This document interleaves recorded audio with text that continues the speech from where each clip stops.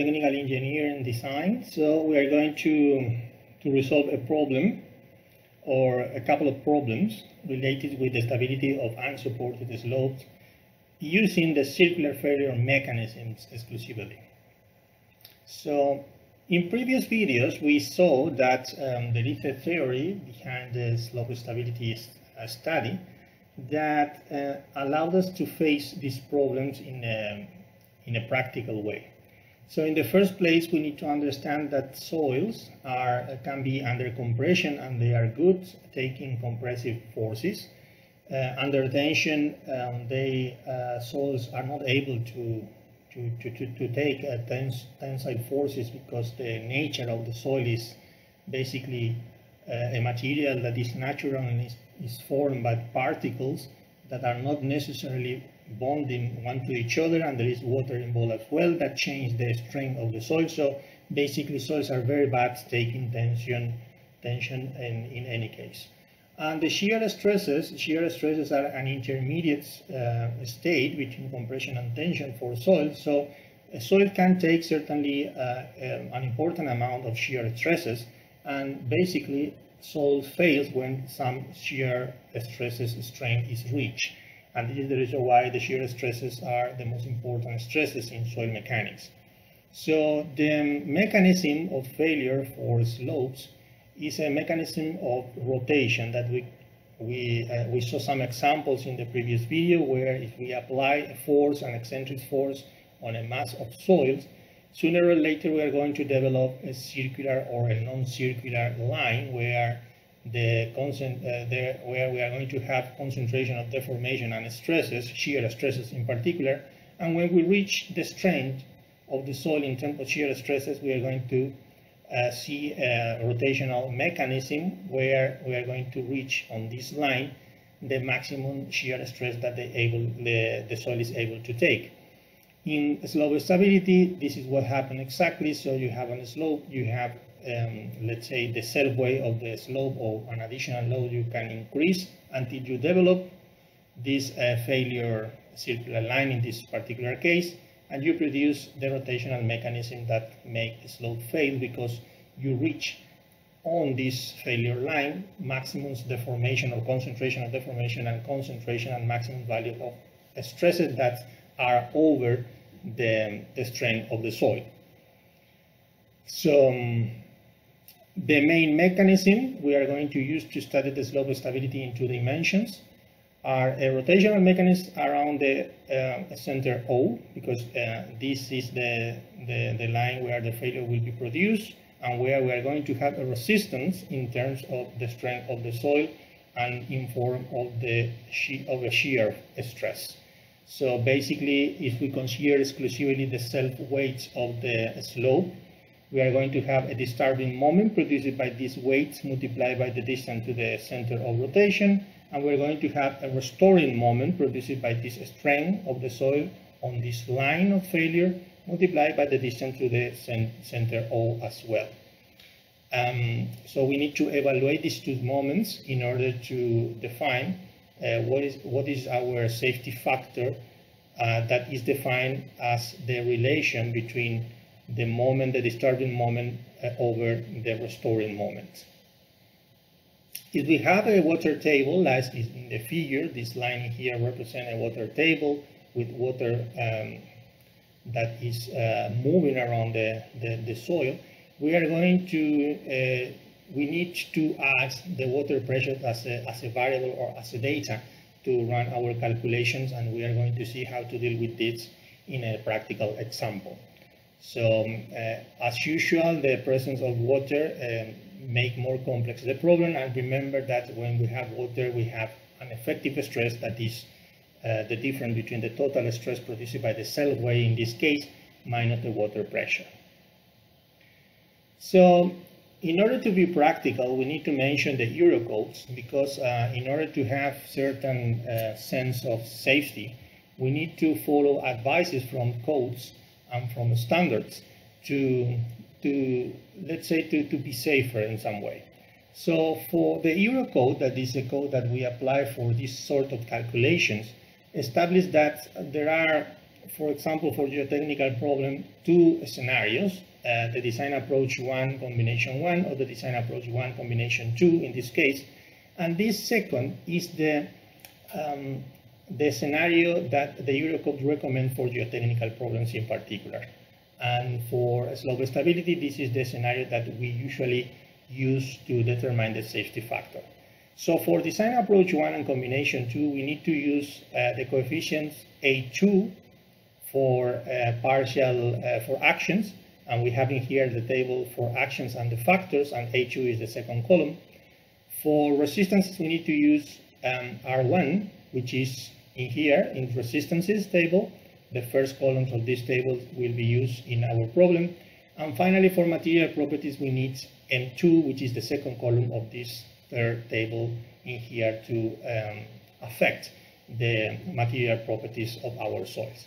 So the principle of Eurocode or, or any standard actually is to uh, keep our structure safe and safer than if we don't use any, uh, any coefficients. So these coefficients have the mission to increase the actions to be safer and to have a better safety factor and to reduce the material properties, the actual material properties to be safer and reduce the resistances uh, to be safer.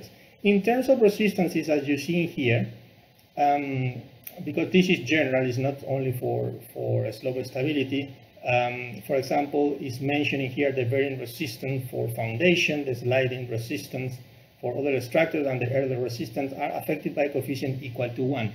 So the, there is not any difference at the end for this design approach 1 and combination 2. In terms of material properties, what we need to do is to divide the, the actual material properties by the coefficients uh, advised by the Eurocode because we need to uh, reduce these uh, material properties to be safer. And in terms of action, we need to multiply for these uh, coefficients that are uh, the advice from the Eurocode in order to increase the value of the actions and to uh, increase the, the safety of our structure. So these are the coefficients we're going to use and I'm going to show in more details in an example. So let's say we have to resolve this problem of slope stability. So we have a slope and we need to define the or determine the safety factor. And the soil that is involved in this problem is a clay. So the, the, there is a clay slope that's shown in the figure. And we have to use as well a, some, a method called the method of slices. So the method of the slices is a method that divides the slope and over the, the line where we suppose the failure will will be produced in several slices to run the calculations slice a slice instead of run the calculation in the whole slope. So the clay that formed the slope has a unit weight of 22 kilonewton per cubic meter.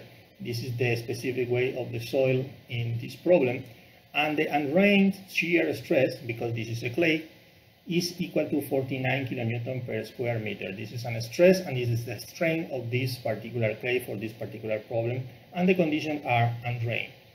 The, the, the dimensions uh, of the slices are provided in this table. You can see here, so all of this is data.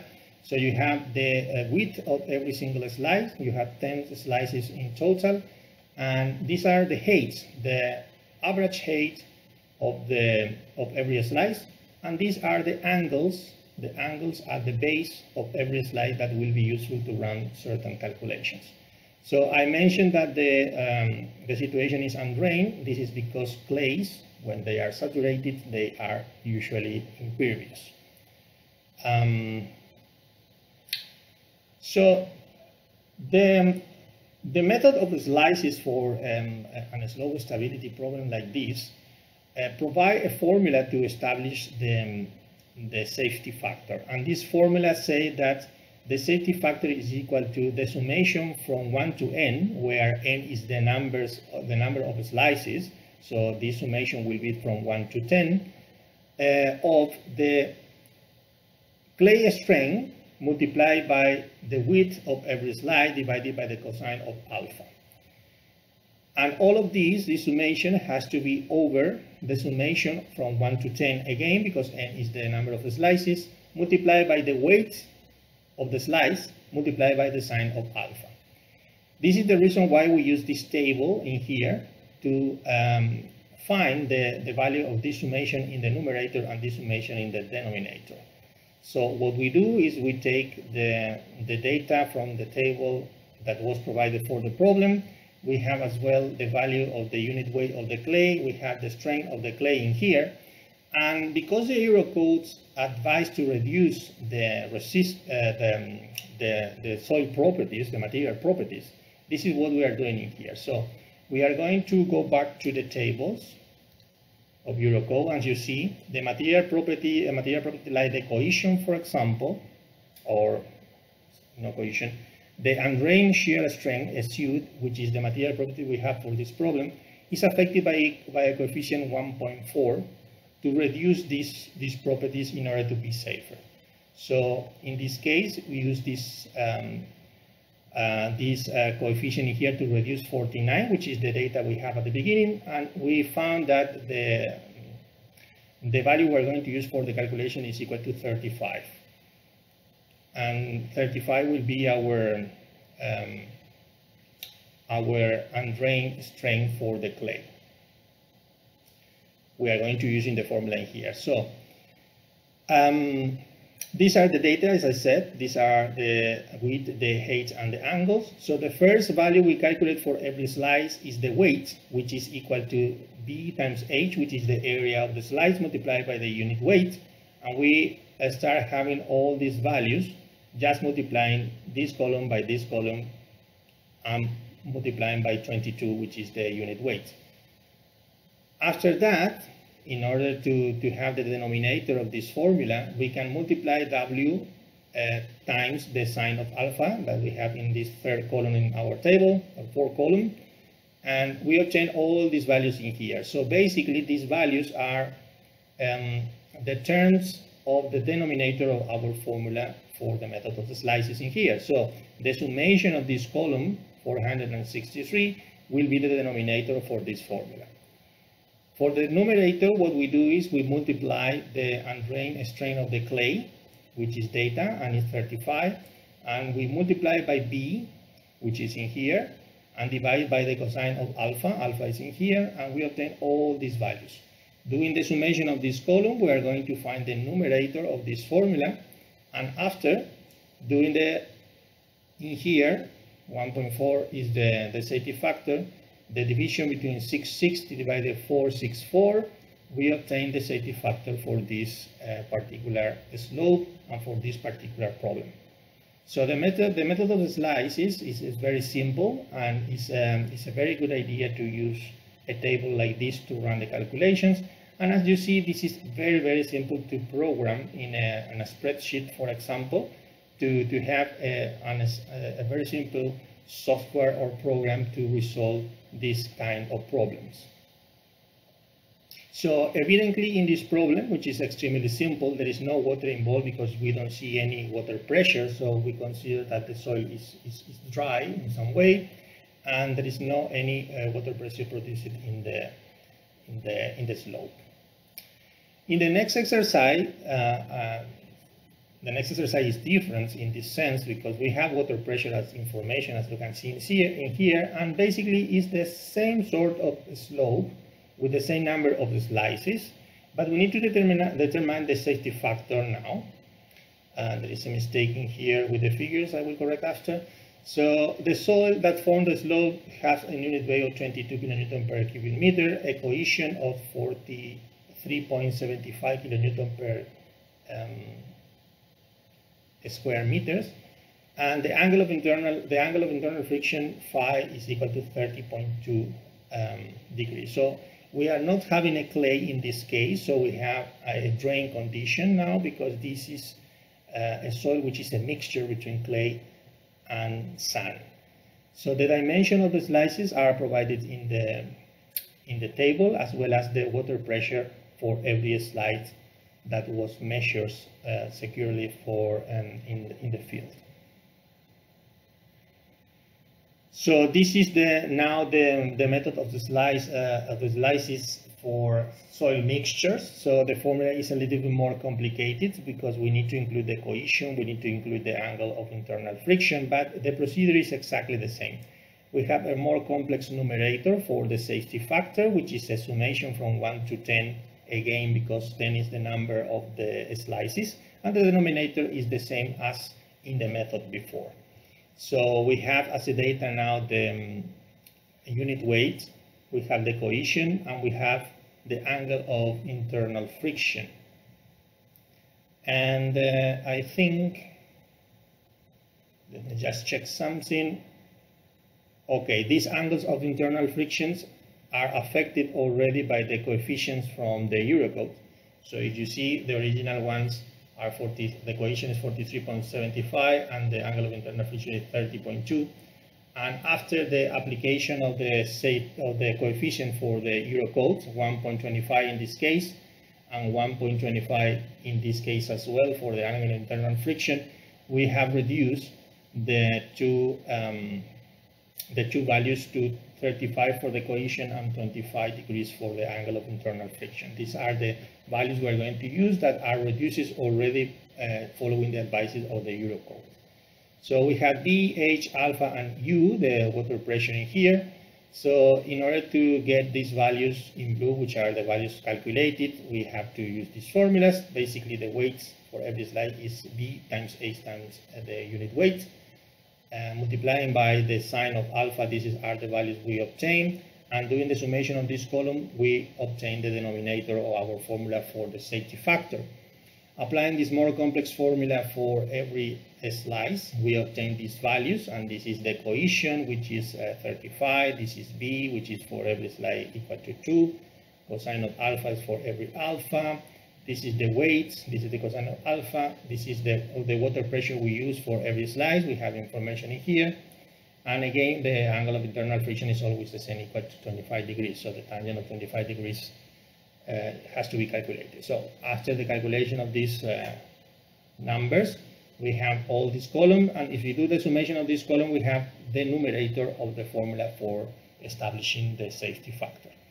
So the safety factor for this particular um, slope is equal to 1.5, uh, 1.8, sorry. And if you remember, for the other exercise, it was 1.4. So let's go back to the last exercise now to comment something about the safety factor. A safety factor, remember, is a concept that gives us an idea of uh, how safe we are in terms of failure.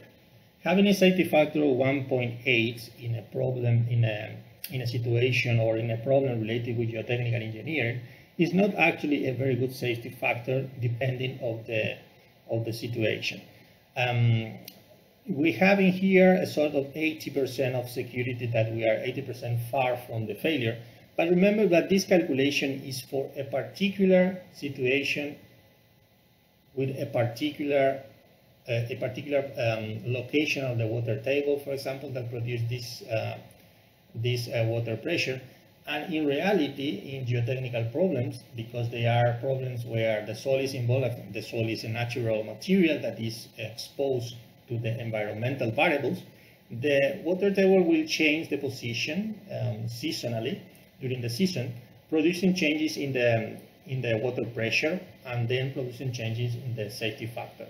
So in reality, it's not um, enough the calculation of one situation. We need to try to cover all the possible situations along a year, at least, and um, and run calculations, several calculations of safety factor, and take the minimum safety factor as the valid safety factor to say how safe is the structure. So the calculation of safety factor is a serious matter because it will um, uh, give us an idea of how Uh, safe is our structure. So this is all in this presentation. Thank you very much.